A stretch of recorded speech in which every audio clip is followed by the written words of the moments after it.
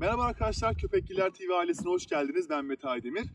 Bugünkü videomuzda size köpeklerin kısırlaştırılması ile ilgili kısa bir bilgi vermek istedik. Ee, oldukça da fazla soru geldi. Köpeğimi nasıl kısırlaştırabilirim? Kısırlaştırma sonrası bakım. Kısırlaştırma e, köpeğimin psikolojisini etkiler mi? E, bana sağlık sıkıntıları yaratır mı? Veyahut da kısırlaştırılmış köpek tekrardan ileriki zamanlarda çiftleştirilebilir mi? Ya da kısırlaştırılmış köpek regl olur mu? Bu tarz sorular geldi. Ben tane tane yavaş yavaş e, anlayabileceğimiz şekilde anlatmak istedim arkadaşlar. İlk olarak dişi köpekleri ele almak istiyorum. Çünkü dişi köpeklerin kısırlaştırılması bir tık daha zor oluyor. Erkeklerdeki gibi olmuyor.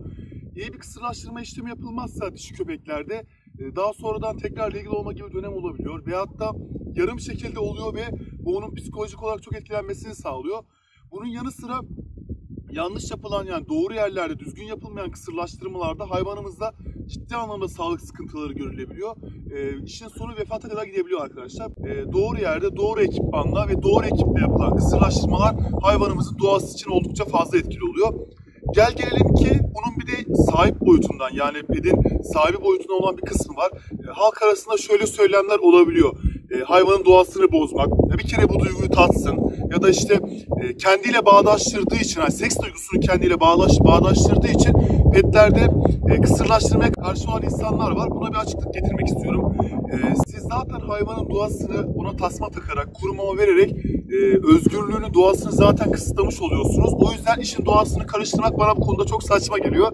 Yani sen hayvana tasmayı takmışsın, zaten doğal özelliğini kısıtlayıp kendi yanına almışsın. Hani bir yerde tasma yani köleleştirmişsin, tutmuşsun. Bunun bir de e, üremesi veya ürememesi. Arkadaşlar zaten bu kadar kısma geldikten sonra yani onun da yapılması bir noktadan sonra zorunluluk haline geliyor. Niye zorunluluk haline geliyor? Dişi köpekleri ele almak istiyorum. Bir önceki videomuzda bahsetmiştik. E, sahiplenilen köpeklerde, dişi köpeklerinde işte yılda iki defa regl olma zamanları var. Bunun yanında aşırı istekli oluyor. Yani köpeğini dışarıda gezdirirken e, sokak köpekleri olsun, diğer arkadaşlarınızın köpekleri olsun sürekli bir e, seks yani çiftleşme arzusu içerisinde olacak.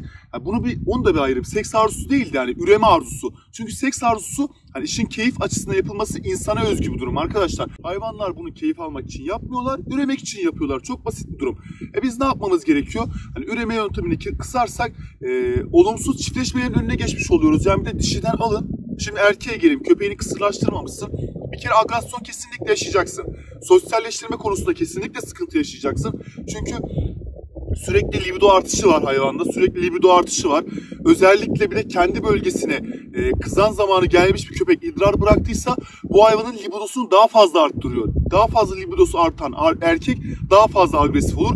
Daha sosyalleşmiş olur ve etrafındaki köpeklere karşı daha saldırgan ve daha baskın konumda olur. Bu sadece diğer petler için, diğer hayvanlar için değil, köpeğin aynı zamanda sana da saldırabilir, yakınına da saldırabilir. Çünkü çok yüksek libido. Sürekli alttan bir artış geliyor, sürekli bir üreme arzusu geliyor.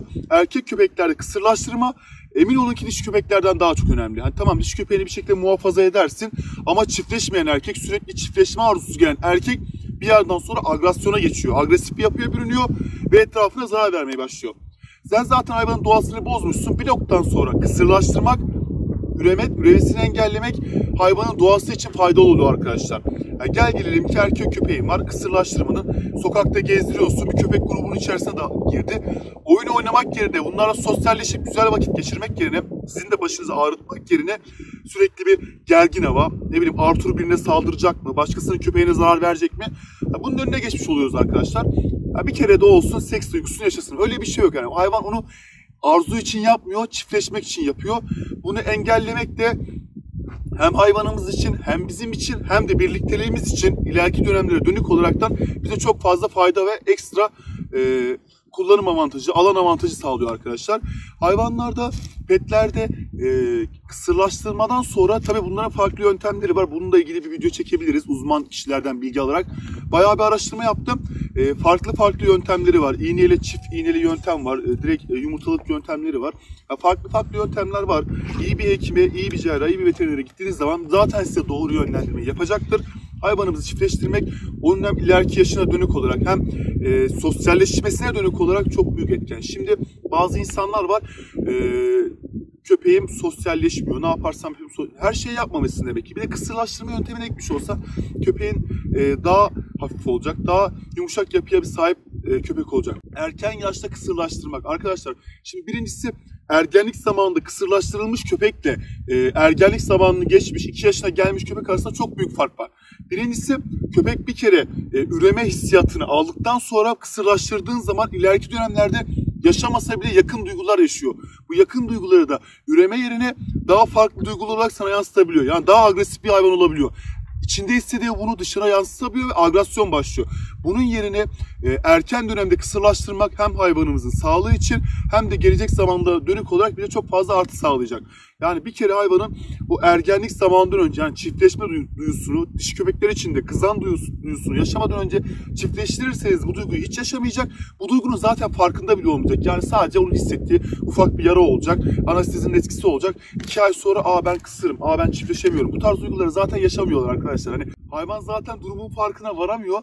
Ne olduğunu anlamıyor. Yani bunu da siz kafanızda kuruyorsunuz. Kafanızda kurmazsanız işini her videomda söylediğim gibi bunu zaten şey yapacağım. Hani sloganım yapacağım. İş komple sizde bitiyor. Siz eğer ki pedinizi düzgün yönlendirirseniz, düzgün e, zamanda düzgün dokunuşları yaparsanız e, çok fayda alacaksınız. Bundan emin olun ki görürsünüz. Zaten diğer videolarımızda sürekli iş sizde bitiyor. Yani sizin yönlendirmeniz. Yani çiftli, sen gidip de hayvanı kendi başına kısırla, kısırlaştırmasını bekleyemezsin. Yani senin elinde bitiyor.